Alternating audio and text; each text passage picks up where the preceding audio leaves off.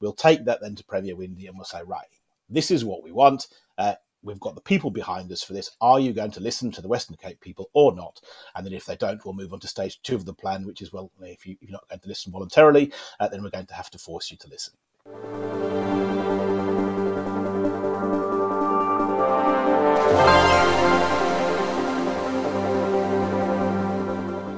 Hello, ladies and gentlemen. Welcome back to News in Five. Uh, this is going to be a very special edition of News in Five, which means it's probably not going to be five minutes, probably a little bit longer. And I have a special guest joining me today, ladies and gentlemen. Phil Craig from the Cape Independence Advocacy Group.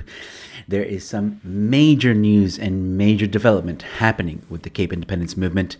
And here to chat about it is Phil Craig. And I'm so excited to have him on board because I watched that press conference live stream that you did last week and some very promising data coming out of that. And please, Phil, share with us, in your opinion, what are the biggest takeaways from the new poll that you guys did? Yeah, thanks, Joe. It's always great to be with you, and uh, you know, with uh, with your audience too. Um, look, I mean, it was a significant poll. I think you know it probably wasn't a great surprise, but it's also yeah, a nervous time when you're waiting to get those results and just to make sure the world looks like yeah, how you th- you thought the world looked.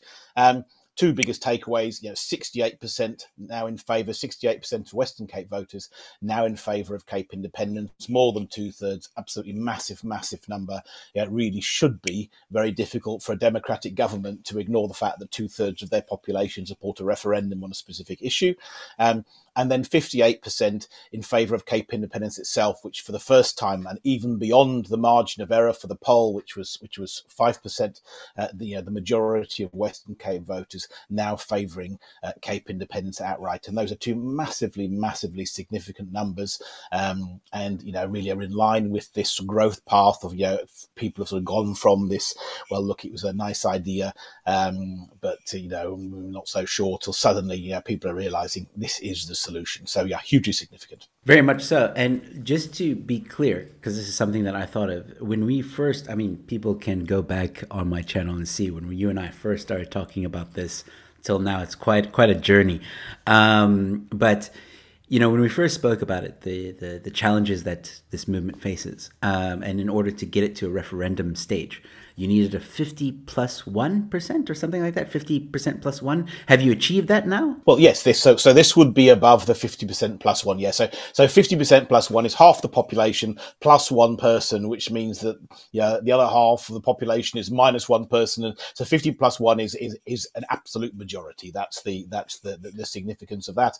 And clearly in this situation at 58% or and yeah so how it works with the margin for error margin for error of 5% so although we've got 58 percent It could be 53%. It could be 63%. We don't know. It's in that range. But wherever it falls within that range, it's still an outright majority of people in the Western Cape who support Cape independence. Fantastic. Okay, so you know, in your press uh, conference, you mentioned that you guys are going to try and push now for a referendum in 2024, which will make South Africa Wow, very exciting. Uh, is uh, is that possible now? Do you think do you think you guys will get there? What what's the next step for you guys? Sure. So, well, look, that's a public call, in many ways, so so so now it's it's about yeah, it, it, becomes less and less about us, and more and more about the people of the Western Cape, and that's exactly how it should be. Ultimately, this ends in the people of the Western Cape having their say.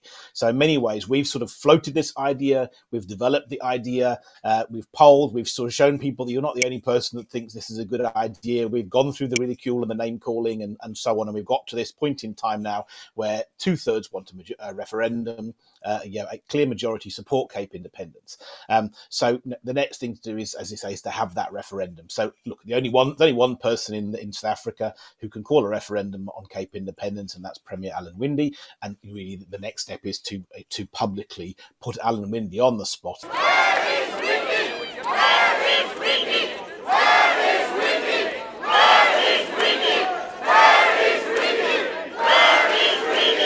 and which is what we've done in this website. We've created, uh, you know, www.capereferendum.org, and, and that's an incredibly simple referendum. It's an incredibly simple website, and we've and we've boiled this whole topic down to three uh, points: one, two, three. Easy as one, two, three. Number one, the majority of us want a referendum.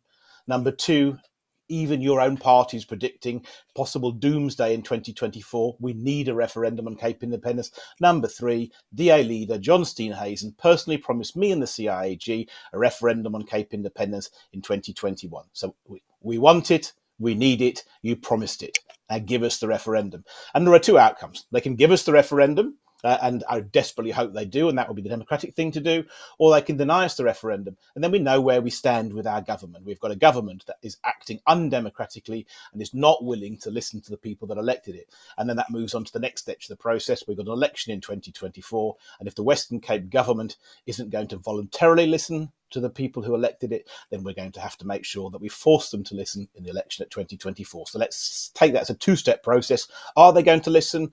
We've publicly asking we're asking people to sign up on that website, um, so that we'll have thousands upon, and we already have thousands upon thousands of people in support of that.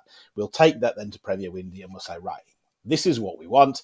Uh, we've got the people behind us for this. Are you going to listen to the Western Cape people or not? And then if they don't, we'll move on to stage two of the plan, which is well, if, you, are not going to listen voluntarily, uh, then we're going to have to force you to listen. So I think one of the concerns that people have, Phil, is that whether or not the referendum voting process will be free and fair, as they say. You know, we've seen recently with the US elections and the Zimbabwean elections, there's a lot of controversy around them, people questioning whether they were really fee- free and fair. Um, and I think, you know, a lot of people are skeptical about holding a referendum and whether or not the ANC will try and interfere or use certain tactics to derail the voting process. What are your thoughts on that? Well, look, so I, so um, yeah, yeah, I think the ANC are capable of, of doing any manner of things. Thus far, they've, they've kept it fairly clean around Cape Independence. Uh, you know, I accept entirely that may not always be the case, um, but ultimately, in terms of the referendum, you know, we are going to need to have international observers. Fortunately, we kind of have a relatively robust electoral system at the moment. We have the IEC, which you know probably isn't quite as independent as we'd like, but it, but at least it sort of is is broadly independent. We still have free and fair elections, uh, and then we'll need to have both internal observers and we'll need to have international observers to make sure that uh, that election's free and fair. And I and I and I think there's a really reasonably good prospect that that will be a free and fair referendum. I, that's not something that I'm unduly concerned concerned about at this point in time. Um, but we will absolutely have to to to make sure that happens and and to you know cover off the bases. Uh, but it's not something I'm unduly concerned about. Last question is ANC has been known to you know use violence to get what they want, or they they cause riots, or they'll cause you know some even go as far as saying there's going to be a civil war. Um, which will obviously be started by the ANC. I don't think the Cape Independence movement itself is going to throw the first stone. I highly doubt that. If anything, if there's any violence, it's all because of the ANC, and that's what they do. They they stir, and they they may want to create uh, a situation where the Western Cape is ungovernable. Um, do you guys have fears about that? And if you do, um, you know, what are your thoughts? What any any plans to avoid that? Yeah, look, it would, it would be naive to, to, to, not think that that's not a, a, a, possibility. It's not one, again, that we're unduly concerned about. Um, I think the ANC itself um, has had plenty of opportunities to to to uh, you know stamp out the Cape Independence movement, and actually it hasn't as of yet. Um, and I, and I think you know one of the things that's interesting is the ANC is extraordinarily sensitive to uh, international opinion of it, which is which is which is slightly bizarre in some ways, but it sees itself as the good guys. Um, and uh, you know its its its whole mission is around self determination. Its purpose was the self determination of South Africans. Um, yeah, it's fought for democracy. So I think really it would be very very difficult uh, for the ANC on the international stage uh, to to suppress a democratic movement and the fact that the Cape Independence movement has been so overtly inclusive, non-racial, democratic, and peaceful, uh, you know, makes it almost impossible um, uh, for for for you South Africa and the ANC then to sort of carry out a, a sort of military thing. Because what are you doing? You, you know, you're literally then imposing colonialism on the uh, on, on, the Western Cape. You know, you're dominating a section of your population against their will by force. Um, and clearly, if the ANC wants to do that at this point in time, it's going to be difficult to resist. Um, but that would just that would just be the beginning beginning of the end. You know, it would be an entirely untenable situation. And I so, I, so the ANC, I don't think are going to do that. I don't think that that's stupid. That's not not really something I'm worried about. Um, I think you, you know you, if there is going to be an issue, it's going to be more likely low level stuff, uh, and actually probably people like the EFF are probably going to be far worse agitators uh, than the than the ANC, and, the, and they'll have to be dealt with. Um, you know, it's it's difficult. Um, I don't see this turning into a huge major conflict. No, I don't. I think if they have a democratic mandate and it's been clearly democratic and peaceful, then that's going to be quite difficult to resist. Uh, there probably are going to be some skirmishes around there, and I'm sure that the Western Cape government will will, will deal with them uh, deal with them fairly quickly, as they did with the taxi strike. Amazing. So, just to recap very quickly, uh, basically, next step is referendum, pushing for that at least, and hopefully getting it. Uh, and that I think is history in the making. Um, very exciting times for CIAG and the entire movement, everybody involved. Uh, I know everybody works together to make it happen. So uh, well done to all of you involved. Uh, and a big thank you to you, Phil, for all the work that you do. Uh, as usual, we'll keep everybody updated with the process of what is going on. I'm very excited to see how things will unfold. Uh, so, yeah, Phil, if there's anything you want to say in closing, now is your chance. Okay, look, I, perfect. Thank you. Always great to be here. And I think there's one thing that I'm going to keep on saying between now and the elections. We're coming to the point in time. This is it yeah, before we've kicked open the door, this is it. Uh, and actually, we as a collective people are going to decide. It's not going to be about the CIAG.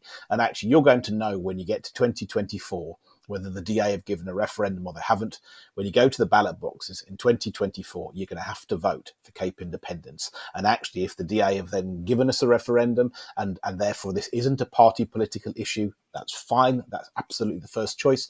If we get to 2024 and the DAs deny this an issue, knowing everything they know now, then we're going to have to vote against the DA, and we will make sure there are political options that wouldn't remove the DA from power, but that would force it to listen, which would be much the same as we saw in the UK in these Brexit issues, where where actually you needed this third party to force the government to listen to the people. And I think that's the situation. That's certainly one of the situations we're heading to. And actually, we can't do anything about that. We can open the door, but the voters of the Western Cape are going to have to do their part, uh, and and you know it's really important that we that we don't collectively get bullied by the DA into accepting their version of the future. We want, we, you know, I think most of us think they've done an excellent job of running the country. We don't need to remove them from power, but we do have to force them to listen, and that may involve tactical voting in 2024. So I've already been to capereferendum.org. I have cast my name and signature and I encourage everybody to do so as well. Link is in the description. Phil, once again, thank you so much for your time. I'll chat to you again soon.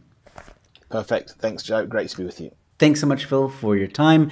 And there you have it, ladies and gentlemen. Let me know your thoughts in the comment section below. Do you think the ANC will be successful in derailing the secession movement of Cape independence? Or do you think Cape independence will be successful? And let me know, are you going to partake in the referendum? You don't have to say if you're going to vote yes or no, but Will you partake in the referendum? Don't forget all the links in the description below. Thank you so much. Stay safe, be kind to one another, and I'll see you at the next one. Cheers.